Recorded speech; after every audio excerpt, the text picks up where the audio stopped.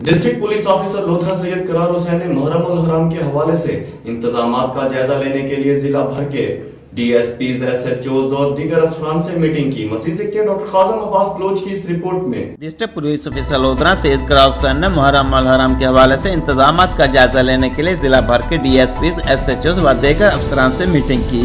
Meeting में district police officer Syed Karar Hussain ने मुहर्रम उल हराम के हवाले से सिक्योरिटी इंतज़ाम का जायजा लिया। डिस्ट्रिक्ट पुलिस ऑफिसर से एक अफसर ने अफसरान को हदायत करते हुए कहा कि मुहर्रम हराम में सिक्योरिटी पर मामूल अफसरान और एहलकार कोरोना वायरस के फैलाव से बचाव के लिए हुकूमती एस ओ पीज की मुकम्मल पाबंदी करें और शुरा की चेकिंग वाक थ्रो गेट्स और मेटल डिटेक्टर से की जाए।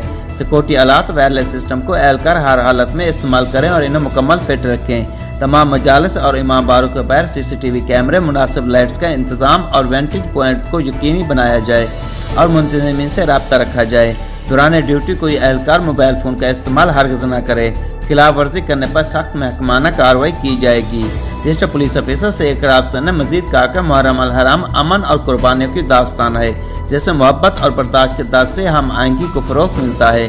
मुहर्रम हराम के मौके पर जिला भर में अमन अमान के क्याम के लिए तमाम दस्तियाब वसायल बरोकार लाए जाएँगे। कैमरा टीम के साथ डॉक्टर काजम अब्बास बलोच लोधरा।